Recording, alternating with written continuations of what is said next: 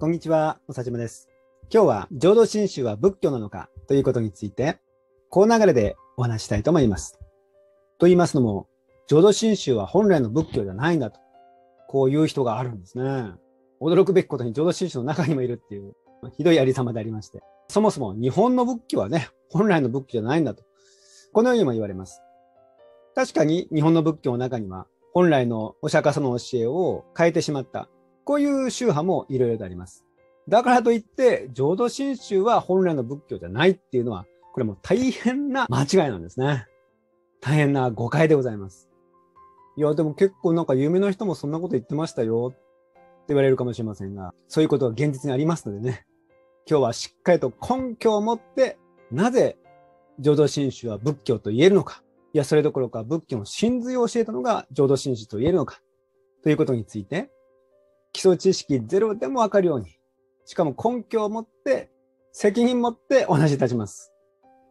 こんな機会は滅多にありませんので、ぜひともですね、最後まで聞いていただきたいと思います。それで、浄土真宗が仏教かどうかということを判断する基準ですね。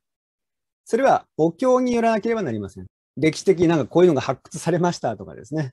民族学的にこうだとかですね。一般常識から言ってそうでしょうとか。そういうもので判断できないんですね。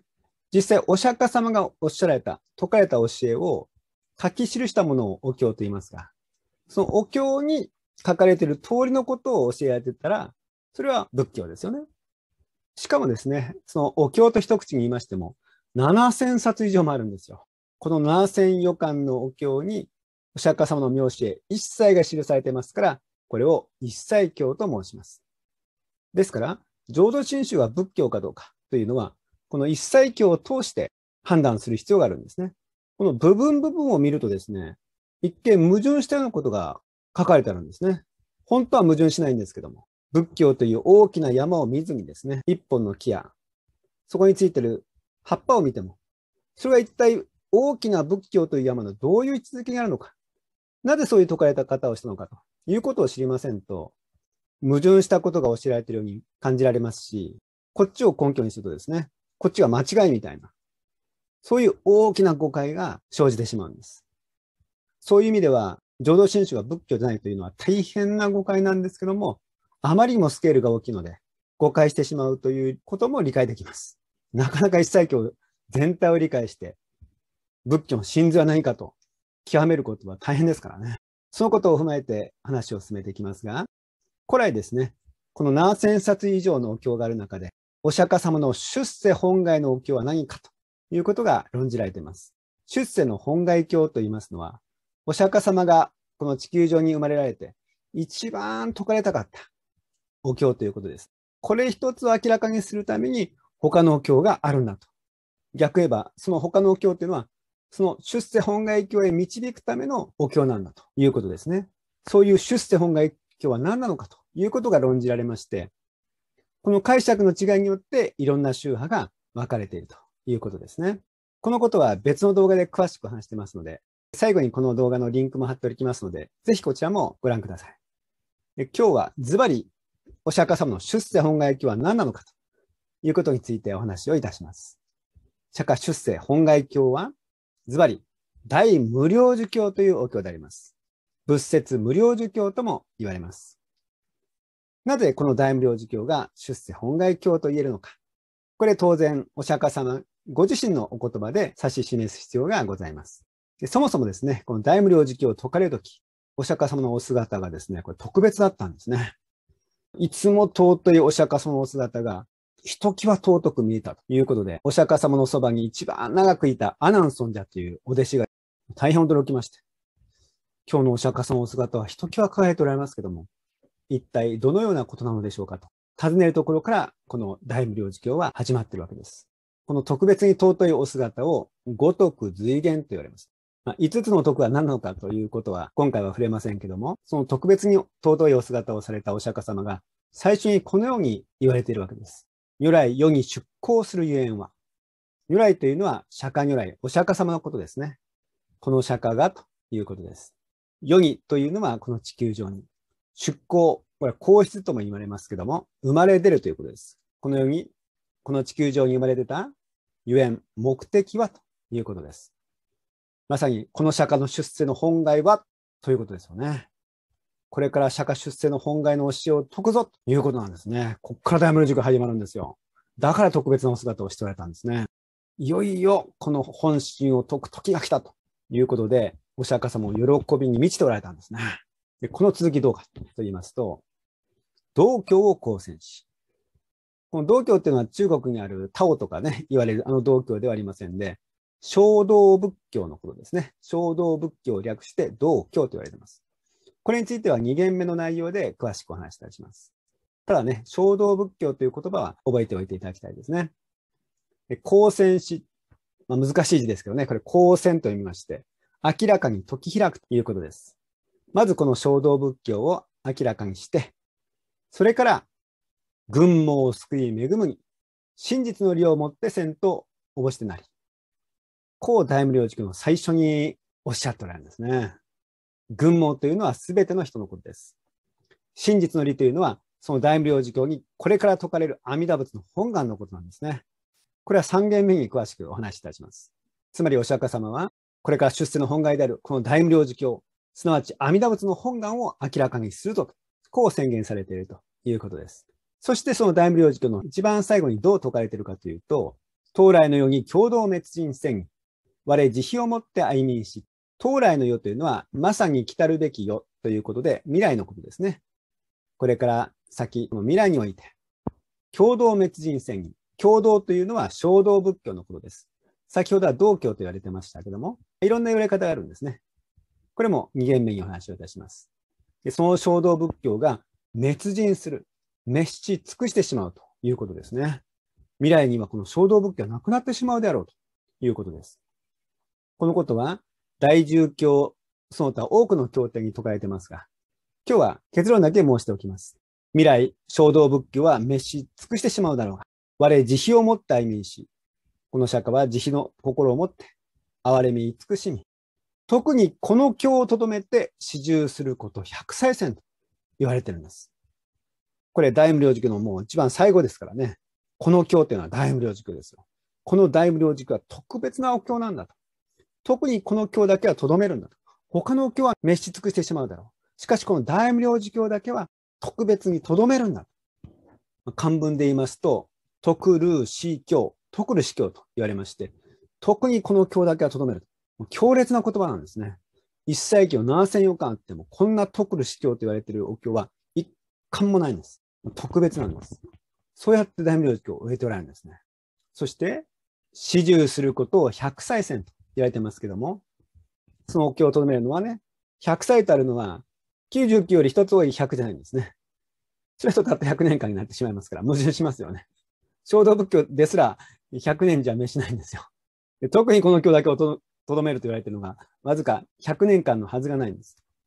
で仏教でこの100という数字は万数で使われることが多くありまして、無限を表すんですね。それを万数という言葉で表します。ですから、99より1つ多い100は100とね、表現したりいたしますね。なぜまたそう言えるのかと言いますと、この大無領事教っていうのは、インドのサンスクリット語で記されたものをいろんな人が翻訳しているわけです。だから、複数の翻訳書があります。一般でもですね、シェイクスピアの英語の文章がありますけど、それをいろんな人が日本語に翻訳してますよね。日本語の翻訳は一種類だけではありません。複数の翻訳があります。同じように大無量寿経、翻訳者が違うお経があるんですね。その一つに如来絵と言われるものがありますが、そこには今のところが、まさにこの法をして、久しく重視して滅世だらしむと説かれています。久しくですから永久にですね、とどめて、滅することがないようにする。100年ぐらいじゃないとということはもう明らかです。まそもそもサンスクリット原点を直訳のようにしますと、この凶暴が滅びないように偉大な贈り物をするのだ。こう書き記されています。これまた、滅しないということですね。滅びないということです。100年じゃない。特にこの教だけは永遠に留めると言われているわけですね。もちろんですね、他の教でもこの教は大事だろと。当然そう教えられてますよね。この教はちょっとあまり大事じゃないよと。こんなことを話されたら、真剣聞く気はなくなりますからね。どの教も大事なお経とは説かれてるんですけども、それでいろんな宗派が分かれてるわけなんですけども。その中で、古来、出世本願教と言われる候補として有力なものが2種類ありまして、一つが今お話をしました大無量寿教。もう一つが有名な法華経と言われるお経ですね。この違いというのはですね、浄土仏教と衝動仏教の違いとも言えるんです。実は仏教と言いましても大きく2種類ありまして、一つが浄土仏教。簡単に言いますと、煩悩あるままで全ての人が救われますよと説くのが浄土仏教です。衝動仏教っていうのは、欲や怒りや愚痴の煩悩と格闘して、山で修行したりですね、座禅組んだりですね、滝打たれたり、その修行の方法は様々なんですけども、この煩悩を抑えて、煩悩を断つ。そういう修行系が衝動仏教と言われる仏教です。大きく2つの仏教があるわけです。それで浄土仏教の経典の代表が大無量寿教であり、衝動仏教の経典の代表が法華経であるから、出世本願教は大無量寿教か法華経かどちらかということで、いろいろと議論が昔からなされているわけなんです。別の表現で言いますと、その煩悩をね、抑える、修行する、その中で最も厳しく、最も激しいのが法華経なんですね。エリート中のエリートが取り組むので、これが一番だと。こう言われていたりするわけです。ところが、その法華経にこのような言葉が出てきます。法華経を信じ得ない者のためには、如来の世の人法を教えようと。こう説かれています。世の人法、別の深い教えということですね。法華経自体が人法ですから、世の別の人法と書かれているわけです。つまり法華経の修行をするけども、ととってもね、この修行を成し遂げることはできない。あまりにも厳しすぎる。本当にこの修行で私は救われるんだろうかと信じえない者ののためにはね、別の道があるぞと。導いとるんですね。他の人法を聞けよと。こうお釈迦様が勧められている。では、世の人法とはどのお経なのかというと、これはもう大無量寿経だけなんですね。一切経で人法と言われるものは二つだけ。一つが先ほどの法華経。もう一つがこの大無量寿経なんですね。大無量寿経には、もし人法を聞きて歓喜信行し、疑惑を生ぜずと、大無量寿経下巻の最初の方に書かれてあります。この深い教えを聞いて、人間に生まれてよかったと歓喜信行し、これでいいんだろうかという疑惑は生ぜずと。大無量寿経が人法であることがはっきり記されています。そういう意味でですね、法華経というのは、この大無量寿経に導くためのお経なんですよ。だから法華経が間違いじゃなくて、法華経を正しく聞き学ぶと、大無量寿経と導かれるようになってるんですね。と言いますのも、すべての人間はですね、煩悩具足の凡夫と言われまして、欲やら怒りやらの愚痴の煩悩ですね。その煩悩でできている存在なんです。人間から煩悩を取ったら何も残らない。煩悩100%の存在が煩悩具足の凡夫なんです。凡夫とは人間ということですから。人間とは煩悩具足なり。その煩悩100%の人間から煩悩を取ってしまったら何も残らない。つまり煩悩を断つ、煩悩を滅するということはこれ不可能なんですね。しかし、うぬぼれ強い私たちは煩悩を断つことなんかできないと言われても、到底ですね、納得しないわけですよ。特に当時のお釈迦様の時代は、修行をする人がたくさんいたんですね。仏法以外の宗教で。ものすごい修行なんですよ。そんな人たちに対して、そんな修行で煩悩なくせないよと言ってもね、何甘っちょろいこと言っとるんやと、修行が足らんと。当時、お釈迦様が35歳で仏の悟りを開かれた時に、誰もそんなお釈迦様が偉大な方なんだって知りませんので、いきなり結論言ってもわからんのですよ。仮に、じゃあ煩悩を立てるかどうかやってみなさいとさせてみる必要があるわけです。ちょうど子供とお母さんが買い物に行った時、お母さんがね、瀬戸物一式を買った。それを見て子供が、あ、お母さん、僕は持つよ。僕とっても力持ちで、幼稚園の相撲大会で優勝したんだよ。僕は持つよ。というわけです。で、お母さんはね、いくら力持ち言っても、幼稚園児、こんな重たい瀬戸物を持てるはずがない。ここであんまり賢くないお母さんは、あんたなんか持ってるはずないでしょ、バッチリみたいな。そうすると子供はね、持ってるのに僕の力全然知らないんだ、お母さんは。ブーブー、ブーブー言うわけですね。賢いお母さんどうするかっていうと、あら、そう？じゃあ持ってもらえる？言って、瀬戸物を一回持たせるんですね。そしたら子供はもう体を持って持てないいうことわかりますから。そしてこれ割ったらまずいということ分かってますので、お母さんお母さんやっぱり持てないよ、話すよ、話すよ、手離すよ、いうわけですね。お母さんはもうその展開は読めてますので、下の方にもう手を置いてますから、それで瀬戸物をスッと持ち上げて、ちょっとまだ早かったかなと。こう言うと、子供は素直にその瀬戸物をお母さんに譲り渡すことができるわけです。同じように、法華経をはじめとしました衝動仏教は、本当は煩悩をなくせないんですけども、初めからそんなこと言っても受け入れることができないので、じゃあ煩悩を立てるかどうかやってみなさいと仮にさせたんですね。そういう方便のお経と言われるんです。嘘も方便という言葉が有名ですから、なんか嘘か、嘘の親戚かみたいに思われるかもしれませんが、そうじゃなくて、真実へと導くために必要なものが方便なんですね。いきなり真実言ってわからないときに、仮に教えを説く。ゴールじゃなくて過程として教えを説く。そういうものを方便と言いまして、法華経をはじめとした衝動仏教の経典は、みんな方便のお経なんですよ。さっきのお母さんの例えで言えば、まず瀬戸物を持ってみなさいと。持たせてる段階。これが衝動仏教の段階なんです。しかしそれは本当にね、その瀬戸物を持てることを期待してのことじゃなくて、持てないと知らせるためだったんですね。つまり煩悩は立てないから、煩悩あるままで救われを教えていただければ、お前たちは救われないんだぞ。ということを教えんがための仮の教えだったんです。真実、出世本来は大無量寿教であり、このことを浄土仏教が明らかにされていると。こういうのが一切教、仏教という山の大きな構図なんですね。ぜひこれは知って覚えていただきたいと思います。ですから、一切教七千四巻は、大無量寿教という出世本外教のお経一貫に導くためのお経であったということなんですね。では、その大無量寿教に説かれている仏教の真髄は何なのかと言いますと、これが阿弥陀仏の本願になります。そういう意味で、仏教は阿弥陀仏の本願一つが説かれているんですね。このことは、この動画で詳しくお話してますので、これまた最後にリンク貼ってますから、そのことについてはこの動画でお聞きください。今日はまた別の角度でお話しいたします。まあ、阿弥陀仏の本願と言いますのは、救いの対象が実法史上すべての人なんですね。ここがすごい。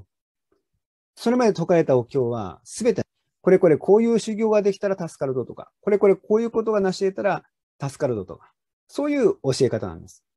すべての人相手ではないんですね。しかし、阿弥陀仏の本願、仏教の真髄はすべての人が相手です。煩悩具足のすべての人を救いたいというのが仏の本当の願いなんですね。男女の差別もありません。善人、悪人の差別もありません。逆に言えば衝動仏教。例えば日本の天台宗、比叡山というのは女人禁税でしたね。女性は入ることすらできない。修行が許されないわけですから、助かることももちろんできないということになってしまいます。また、善人、これこれこういう修行ができたら助けるぞと。そういう修行ができないものは助けないとか。生き物を殺すものは助けないとか。お酒飲むものは助けないとか。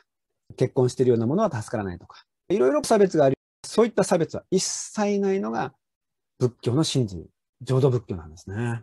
その仏教の真髄を明らかにされた方が、浄土真宗を明らかにされた親鸞上人なんです。その親鸞上人の主張、教行新書の一番最初にズバリ、それ真実の教を表さば、大無量寿教これなりと書かれてあります。真実の教。この教えというのも経典と同じですね。お経には教えしか説かれてませんから。真実のお経は大無量寿教であるということがズバリ書かれているわけなんですね。ここに迷いは一切ありません。で、その大無量寿教には阿弥陀仏の本願が説かれているんです。実は浄土真宗という言葉もですね、阿弥陀仏の本願のことなんですね。本来宗派の名前じゃなくて、阿弥陀仏の本願のことを浄土真宗と言います。そういう疲れ方されてるんですね。今日は詳しいお話はしませんが、もう浄土真宗イコール阿弥陀仏の本願。阿弥陀仏の本願を明らかにされた方が親鸞上人ということです。その親鸞上人が肉食祭体を断行しておられるんですね。肉食というのは肉を食べる。摂取をするということですね。祭体というのは妻をめてる。結婚するということです。これ修行の逆ですね。修行する人はもう摂取はダメなんですよ。結婚どころか付き合ってもダメ。恋愛禁止です。そんな中、親鸞書に肉食祭体を断行したわけですから、あの仏教という大きな山がわからないとですね、衝動仏教と浄土仏教、公弁と真実というものが分かってないと、ものすごく間違ったことをやってるとしか思えないわけですよ。だからこそ浄土真宗は仏教じゃないってね、今日でも言う人があるわけです。7000冊以上のお経のほとんどが衝動仏教の内容ですからね、方便の内容ですから。真実に導くというのは大変なことなんです。その結論の真実を親鸞書には明らかにされてるんですけど、神戸で留まってる人が真実を見て間違いだとこう言ってる。こういう状態なんですね。しかし、阿弥陀仏の本願は実法史上相手ですから、男女の差別はないわけです。善人、悪人の差別もないわけです。一切平等に救うのが本当の仏教、仏教の真髄ですから。それを身をもって明らかにされるために、親鸞書には肉直最体を断行された。これ、仏教に独自の解釈を加えたというものじゃないんですよ。新しい仏教を説かれたというものでも全くないんですよ。仏教の真髄を身をもって明らかにされたのが、肉直最体の断行であったということです。有名な悪人正気もそうですね。悪人というのはこれは煩悩具足の凡夫ということですよ。正気というのはそれは正客。煩悩具足の凡夫と仏様は見抜かれて、そういうものを救う。だから全ての人を救うというのが真実の仏教なんです。それを煩悩を何とかしなきゃ、なくすにはどうすれば、こうやってますけども、真実はそうじゃないんだ。煩悩あるまんまで救う。煩悩具足の悪人を救う。それが真実の仏教なんだと。これまた仏教の真髄なんです。お釈迦様は明らかにされていることなんです。そしてこれが親鸞聖人常のお言葉でありまして、さらに親鸞珍しき法も広めず、由来の凶暴を我も信じ人にも教え聞かしぬばかりなり。この親鸞は全く珍しい法を広めているのではありません。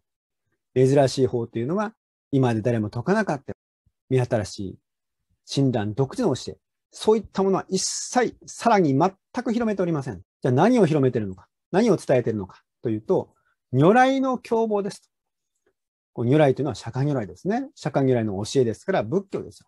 お釈迦様が教えられなかった新しい仏教とか、自分なりの解釈とか、そういうものは一切ない。純度100%の如来の凶暴、仏教を我も信じ、この診断間違いないと知らされたから、人にも教え聞かしむるばかりなり、皆さんにもそれをお伝えしているばかりです。親鸞独自の教えはないんだと。さらに親鸞私なしとも言われて、私の教えというものは一切ないんですよ。ですから、教行新書という主張はほとんどがお釈迦様の説かれたお経と、それを解釈された仏教書の引用ですよ。その根拠を先に示して、それを親鸞書にはこれはこういう言葉なんですよと教えられたのが教行新書なんですね。今日は短い時間で仏教全体から真髄に関わる内容を話しましたので、それも一般の方向けに話をしましたのでね、とてもとても完全には話しきれてはないんですけども、この関連の動画を見ていただきますと、さらに理解が深まると思います。またこれからもこういった仏教の内容を一般の方にもわかりやすくお伝えしていきますので、チャンネル登録していただきますと、このチャンネルの更新情報が届きますので、こちらの丸いところを押してチャンネル登録していただくと嬉しく思います。それではまた。